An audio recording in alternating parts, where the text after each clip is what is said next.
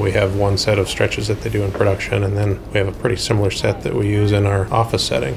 Wanted to give everybody time to uh, change what you're doing and, and get rid of some of the repetitive motion injuries and things like that that plague manufacturing.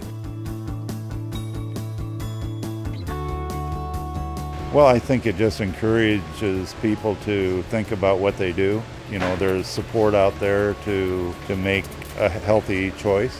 I mean, I've got grandchildren and that was my motivation to quit smoking was I want to be around a long time.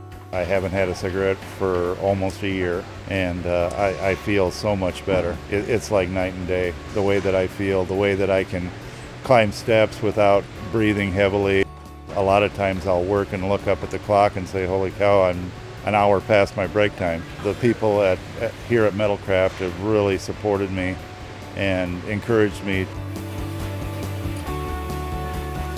My husband and I wanted to get in shape. I'm uh, kind of a weakling and uh, uh, started out very light and now I'm working myself up to uh, more weights now and I actually can feel muscles again and um, I have more energy and um, it's great.